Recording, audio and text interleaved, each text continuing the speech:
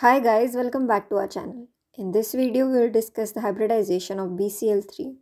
It's a chemical formula of boron trichloride. Now, one of the easiest way to find hybridization is by counting the number of lone pairs of electron attached to the central atom and the number of sigma bond it forms. This is known as steric number. In other words, steric number equals to the summation of sigma bond and lone pairs attached to the central atom. Now let us have a look at the Lewis structure of BCl3 we can clearly see that central atom boron has formed 3 sigma bonds with 3 chlorine atom and has 0 lone pairs of electron attached to it. Let us add the two. We have 3 sigma bonds plus 0 lone pairs that equals to the steric number of 3. Now that corresponds to sp2 hybridization. Thus, BCl3 has sp2 hybridization. For more such videos, make sure to subscribe our channel and thank you for watching.